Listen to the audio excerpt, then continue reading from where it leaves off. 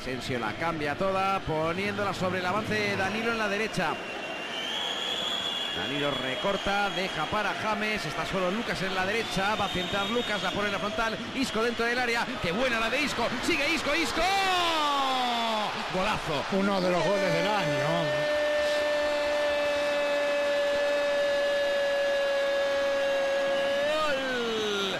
Golazo, golazo. Y la ubicó con el interior hacia la escuadra para empatar el partido. Gol del Real Madrid, gol de Isco. Sporting 1, Real Madrid 1.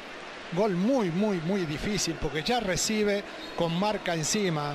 Se empieza a sacar la pelota como si enhebrara una aguja dentro del, del área y la manera de terminar es realmente extraordinaria. O sea, daba la sensación de que todavía no había salido de todos los problemas